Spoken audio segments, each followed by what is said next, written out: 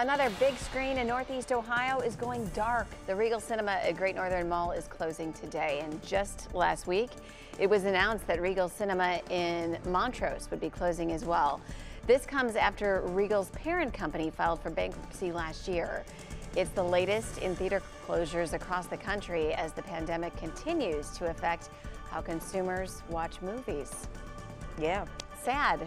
It's It sad is, to me. it is, I still is. love going to the theater to watch a movie. So hopefully they can keep a number open so that we can still have that experience. But I can't tell you, since the pandemic and those movie theaters open, I Mm-hmm. can't remember a movie theater filled when I went to see a You- movie. that's a very good point. So in, people- in really popular movies too. Yes, like yes. even going to see really popular movies. Yeah, So it's a different time. It is. Yeah, I think a lot of our behaviors just changed over that Mm-hmm. period.